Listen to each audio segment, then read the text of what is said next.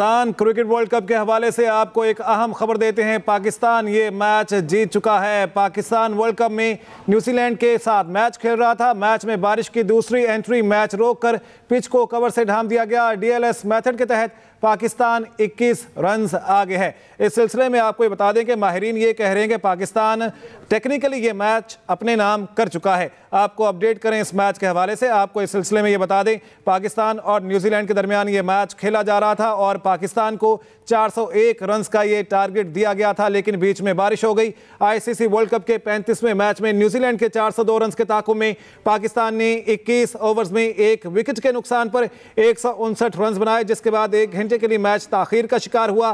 फिर 24 गेंदों के बाद खेल को दोबारा बारिश की वजह से रोक दिया गया। इसके बाद बारिश रुकने के बाद अंपायर्स ने ग्राउंड का जायजा लिया और फिर डीएलएस मेथड के तहत 9 ओवर्स कम करके 41 जबकि हदफ 342 रन तक महदूद कर दिया गया। बेंगलुरु के एम चिन्ना स्वामी स्टेडियम में खेले जा रहे मैच में हदफ के ताकु में कौमी टीम के ओपनर अब्दुल्ला शफीक महज चार रन बनाकर पवेलियन लौटे, जबकि ओपनर फखर जमान और कप्तान बाबर आज़म ने दूसरी विकेट की शिराकत में एक सौ तिरपन की पार्टनरशिप कायम कर ली। दोनों बिल तरतीब एक सौ छब्बीस और छियासठ रन बनाकर क्रीज पर मौजूद थे और इसके साथ साथ आपको बता दें, न्यूजीलैंड की जानब से वाहिद विकेट टीम साउथी ने हासिल की।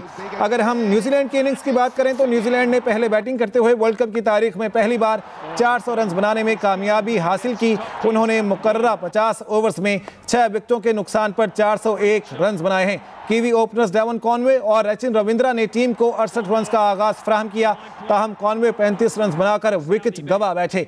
दूसरी विकेट की शिराकत में केन विलियमसन और रचिन रविंद्रा ने 180 रन की पार्टनरशिप कायम की, ताहम कप्तान केन विलियमसन ने 10 चौकों और दो छक्कों की मदद से पचानवे, जबकि रचिन रविंद्रा 108 रन बनाकर आउट हुए हैं।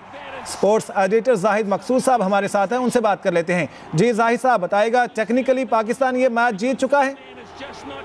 जी, बिल्कुल फैसला हो गया, बल्कि अनाउंसमेंट हो चुकी है, पाकिस्तान जीत गया। दो दफ़ा बारिश है जिसकी वजह से ये मैच रोकना पड़ा।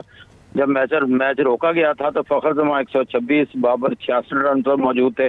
और पाकिस्तान जो है, क्योंकि तीसरी दफ़ा शुरू ही नहीं हो सका मैच इसलिए पाकिस्तान की जीत करार दे दी गई है। सात दस जो है, इसका कट ऑफ़ टाइम था, लेकिन उससे पहले शदीद बारिश की वजह से, अब देखना यह है कि रन रेट को तो फ़र्क पड़ेगा, लेकिन मेरा नहीं ख्याल कि अभी तक के आदादोशुमार के मुताबिक कि पाकिस्तान का उस पर फ़र्क होंगे इसके बाद न्यूजीलैंड का मैच, श्रीलंका के साथ है, पाकिस्तान का मैच इंग्लैंड के साथ है, लेकिन बहरहाल पाकिस्तान सेमीफाइनल में क्वालिफाई करे या ना करे, लेकिन आज एक बड़ी कामयाबी है पाकिस्तान के इसलिए, क्योंकि 402 रन का पाकिस्तान को टारगेट मिला था।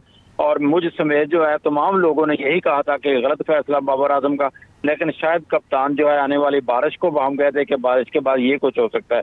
अगर मजीद ओवर कम किया जाता है डकवर्थ लुइस फार्मूले के तहत उसमें अमून बैटिंग साइड को नुकसान होता है, क्योंकि ओवर ज़्यादा कम कर दिए जाते हैं रन उस तादाद में कम नहीं किए जाते, इसलिए वो नुकसान होता है। और इस वक्त ये एक अच्छी खबर है पाकिस्तान की, कि पाकिस्तान ने न्यूजीलैंड को शिकस्त दे दिया आखिरी मैच पाकिस्तान इंग्लैंड के खिलाफ खेलेगा। और इससे आगे आने वाले जो मैचेस हैं, जो जैसा कि आपने बताया कि इंग्लैंड के खिलाफ पाकिस्तान अपना मैच खेलेगा जो सेमीफाइनल के हवाले से जो बातें की जा रही थी, अगर मगर की जो कैफियत थी, अब इंग्लैंड के साथ जो मैच होगा, उसमें पाकिस्तान एक बड़े मार्जिन से फतह हासिल करता है, कोई फ़र्क पड़ेगा? पाकिस्तान उसमें फतह हासिल भी कर ले, लेकिन न्यूजीलैंड की ऑस्ट्रेलिया के खिलाफ शिकस्त ज़रूरी है।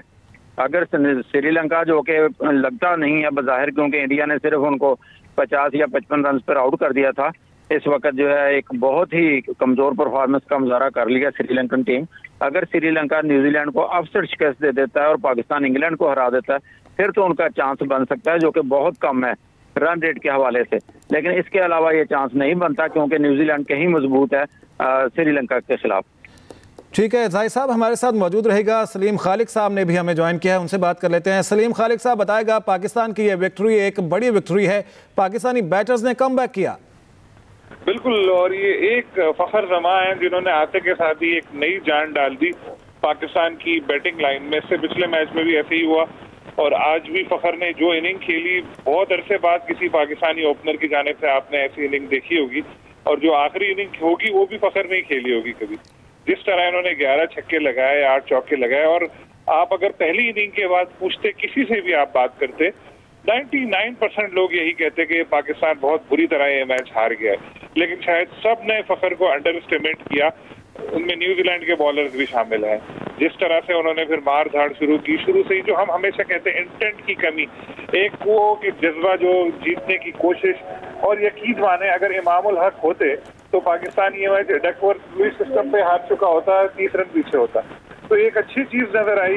पाकिस्तान ने बोल्ड डिसीज़न लिया देर आए दुरुस्त आए ताखिर से फखर को इन किया टीम में और आते के बाद ही उन्होंने टीम की काया पलट दी। और बाबर आज़म ने भी एक अच्छी इनिंग खेली। बाबर आज़म ने, क्योंकि जब एक दूसरे एंड पे बैट्समैन ऐसा खेल रहा हो सेट और बड़े ज़बरदस्त छक्के चौके लगा रहा हो तो फिर दूसरे वाले बैट्समैन को ज़रूरत नहीं होती रिस्क लेने की। तो बाबर ने यही किया। उन्होंने बड़ा अच्छा साथ दिया, फखर का और कोई पैनिक सिचुएशन नहीं आई पाकिस्तान के पास।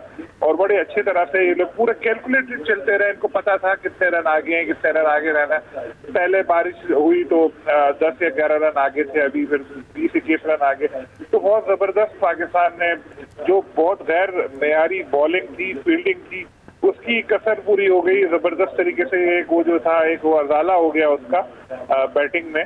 और मैं यही कहता हूँ मैं कि अगर काश शुरू में फखर को इस तरह ठीक है हमारे साथ रहेगा फखर जबान इस वक्त बात कर रहे हैं।